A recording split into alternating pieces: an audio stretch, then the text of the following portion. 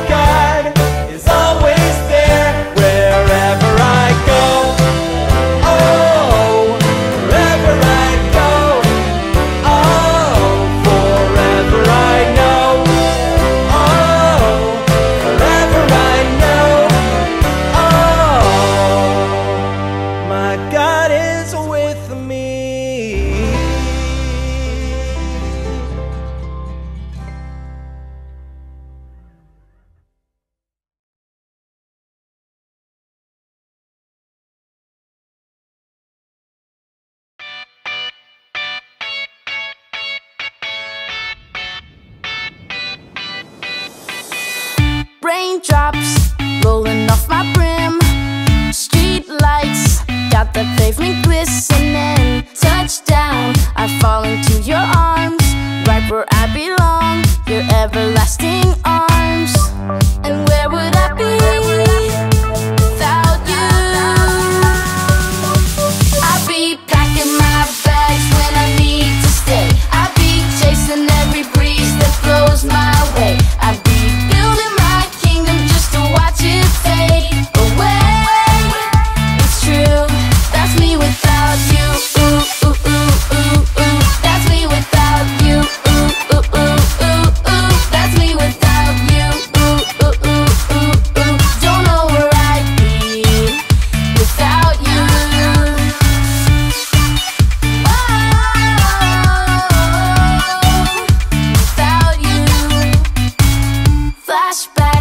Step into the scene. There's you And there's a very different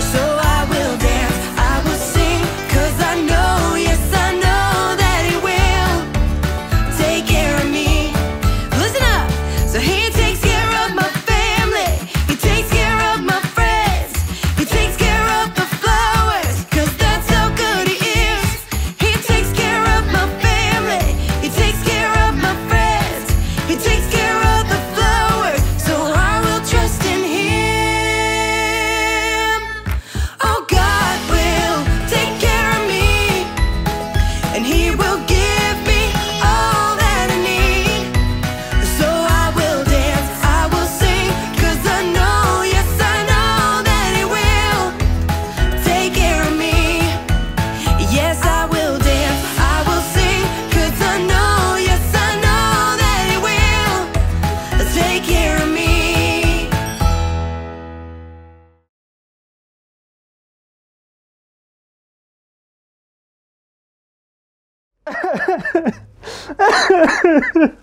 oh, hey there, kids. Welcome to Grow TV. Welcome to Grow TV. Hosted by Carl. Have fun with our friends, talk about Jesus, and go over everything the Bible has to offer. Now, once again, welcome to Grow TV. Oh, here we go. Carl being overly dramatic again. Watch out. Carl's got something going on and he's breaking down. But you want to know the thing is, y'all? You want to know what the big deal is? Tell you what the big deal is. The biggest problem in my life has happened. The world is falling apart and my life is shattering before my eyes. You want to know what happened? I bought a puppy. And guess what? I was happy. I was happy. I had just that puppy. But it turns out that puppy wasn't a puppy at all. It was a mama dog who was carrying lots of babies in its tummy. And as soon as I brought it home, this happened. You see a problem? I can't handle this. I got puppies in my living room, puppies in my bedroom, I got puppies in my pantry. I'm not gonna lie, I'm pretty sure one got inside my TV. Now he's just sitting there running his own TV shows. Can't do it. I'm at my breaking point, and that's why I need to talk to you. And honestly, I probably need to call some of my friends. I need to talk to them, or else I'm gonna lose it.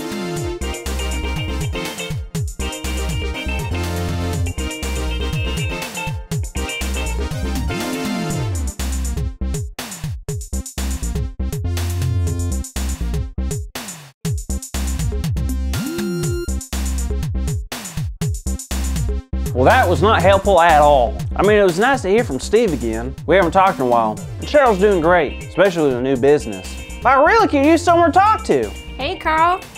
Hey, Jada. Whoa, what's wrong? Well, Jada, I don't know. I'm struggling today, and I got so many emotions that I don't even know how to feel about them. Oh, goodness. I'm sorry, Carl. You know, Job also had some big feelings. Really? Of course, that's actually what I wanted to share with the kids today. Awesome. Well, you all remember what we talked about last week, right? We introduced you to a man named Job, and Job was a very righteous man. He loves God a lot, and Job had a very blessed life. But one day, Job lost everything his animals, livestock, and even his family. And then Job got very sick and had sores all over his body. But even after all of it, Job still loved and worshiped God. Even his wife didn't understand, but Job continued to be faithful. Now, I want to ask you if all of that had happened to you, if you were Job in this situation and everything around you had been taken from you, how would you feel? Awful. That would be awful. Right? Well, Job definitely had some big feelings about everything that was happening. And Job, just like Carl, knew that when we have feelings like that, we must talk to someone. So who did Job talk to? Well, he talked to. His cousin Billy? No. Caroline, the cashier at the gas station? No, Carl. Uh, then I'm lost. Who did he talk to? Well, would you believe me if I said God? What? Really? Yes, really. Job couldn't help but run and talk to God when he had those big feelings. He talked to God about his feelings? Well, don't keep me in suspenders. What did Job say? Well, you can read it here in Job chapter 23 and verse 2. He says, Even today my complaint is bitter. His hand is heavy in spite of my groaning. Whoa, what was Job feeling? Did he say he was feeling better? No, he said he was feeling bitter. Yeah, like I said, better. No, bitter. Better? Bitter. Bitter? Yep, you got it. Oh, cool. Well, what does bitter mean? It can mean several things. It can mean Job was feeling hurt, angry, or maybe even resentful. Either way, this feeling was a big one, and Job knew he needed to talk to God about it. In fact, in verse 4, Job says, I would state in my case before him and fill my mouth with arguments. He wanted to argue with God? Not really argue, more like say everything that was on his mind. Just let it out, you know? Do you think it helped Job? Absolutely. God has given us so many emotions like happy, sad, angry, jealous, silly. Hungry. Yes, even hungry, Carl. And all of those deserve to be talked about, even with God. Okay, but like God is like the creator of the universe. And there's billions of people on this earth. Why would God want to listen to me? Well, that's actually a pretty easy answer, Carl. God listens to us because God loves us. That's it. Yup, it's that simple. God created each and every one of us and all with big and small feelings. The Bible tells us to talk to God all the time, and we can do that through prayer, and when we talk, God listens. Uh, Carl, what are you doing? Jay, do you mind keeping it down? I'm trying to talk to God right now. Right. Carry on. Tell God I said hi.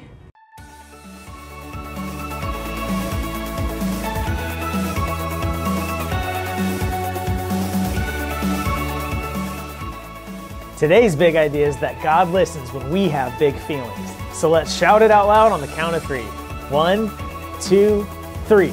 God listens when we have big feelings. Awesome job, kids. Wonderful job. Job 37, verse 5. God's voice thunders in marvelous ways.